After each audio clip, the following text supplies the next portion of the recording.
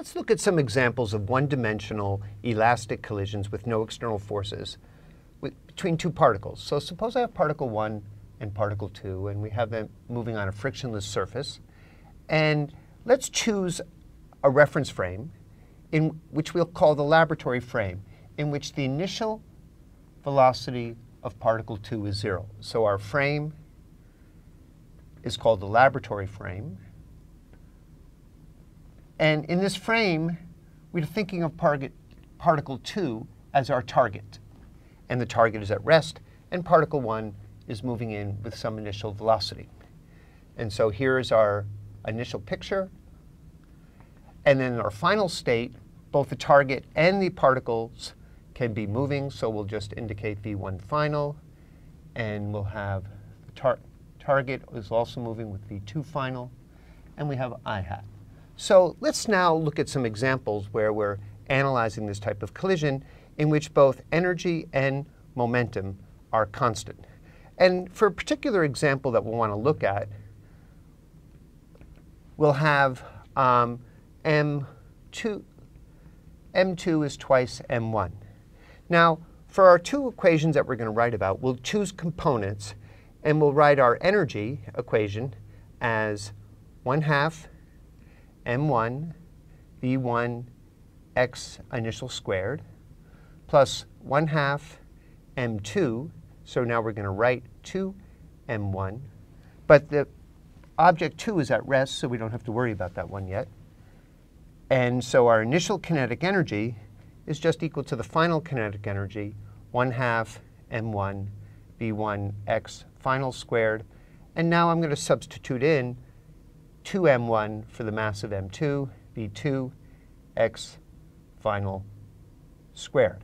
And that's our energy condition.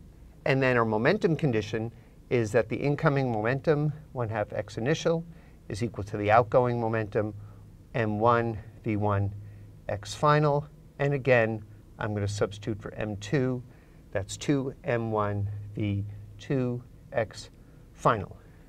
And these two equations represent a system, a linear, a, a system of two equations with two unknowns.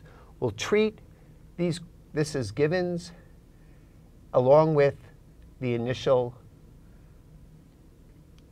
velocity of particle 1.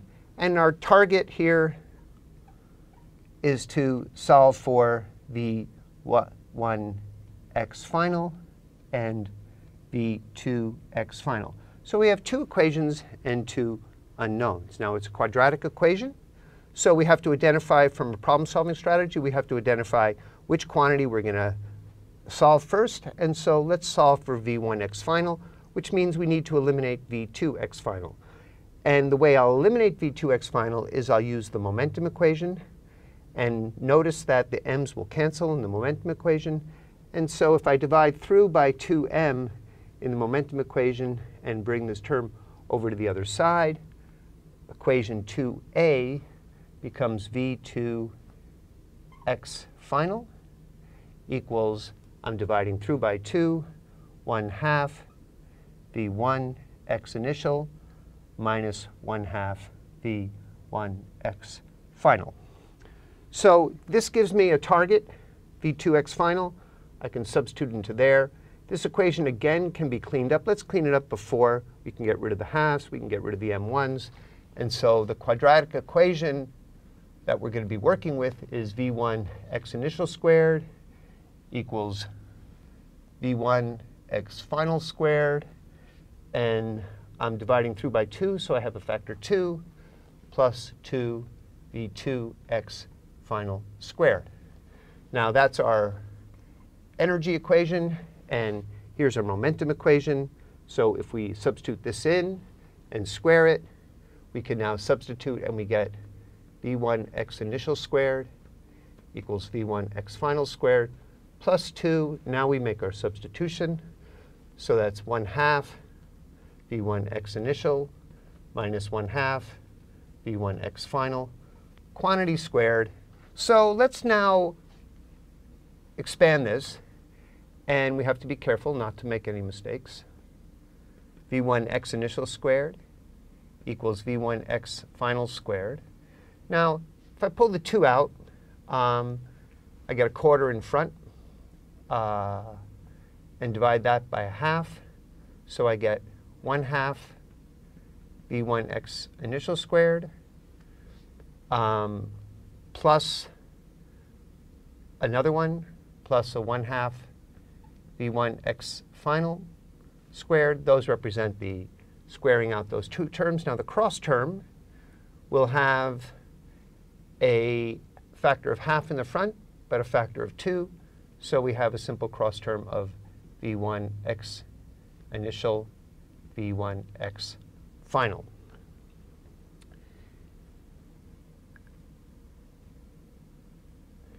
Now, when we, let's collect terms.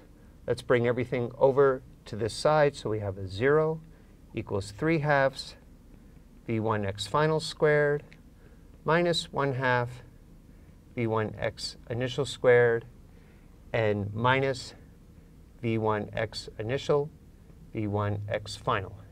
Now, I always like to just write this up in a simple way to use the quadratic formula. So I'm going to divide through by 2 thirds, and I get minus 1 third v1x initial squared minus 2 thirds v1x initial v1x final. And this is now a simple application of the quadratic formula. Negative b is plus 2 thirds v1x initial plus or minus, and we're going to interpret those two roots in a moment. We have the factor 2 thirds v1x initial squared minus 4 AC. So that's another minus sign with a plus. So that's plus 4 thirds v1x initial squared, all to the square root, and everything divided by 2. Now here, let's just look at this factor. This is 4 ninths plus 4 thirds. 4 thirds is 12 ninths, so that's 16 ninths, which is very convenient because when you take the square root, that's 4 thirds. So we get equal to 2 thirds v1 x initial plus or minus 4 thirds v1 x initial divided by 2. Now we see that there's two different roots. So when you add them, you get 6 third, 2, third, 2 v1x initial divided by 2. So there's one solution. And when you subtract them, you're getting 2 thirds minus 4 thirds. That's negative 2 thirds divided by 2. So that is another solution, v1 x final equals negative 1 third v1 x initial. Now, let's think about the meaning of these two possible solutions.